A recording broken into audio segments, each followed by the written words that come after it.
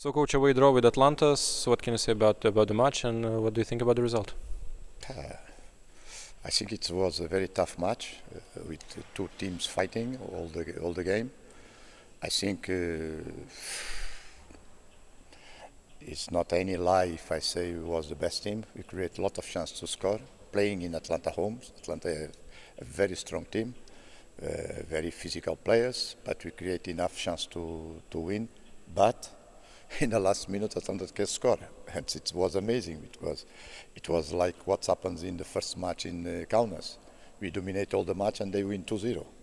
But this time we was uh, more, more, more smart and uh, we play, uh, I think, respecting Atlantas, but showing that we are not uh, so different than uh, Atlantas that the position are showing in the table. Uh, so we are in the right way. We are playing football. We are trying to our players learn and grow.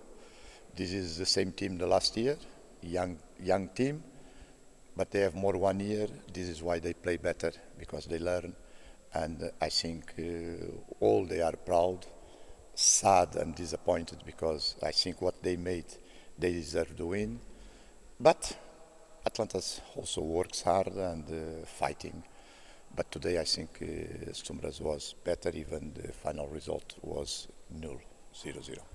In the last five games, only one goal. Uh, the problem is to use those opportunities that the team create? Yeah, this is our problem. we create uh, many chances. I think few teams in Lithuania create so many chances to score and don't score. So we have to wait. This is our players, so we don't have any chance to bring new players now, only in June. But I think they will find the, the, the, way to the goals. Uh, the goods is we didn't consider any goals. We are uh, one of the best defense. Uh, next step is trying to, to keep the goods we make today.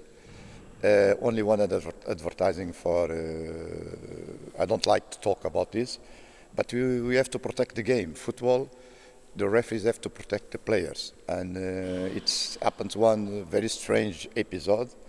I can tell you clearly, since Africa, I'm not looking this. I was national coach in Ghana, so I know Africa reality. One player is coming with two legs for other player.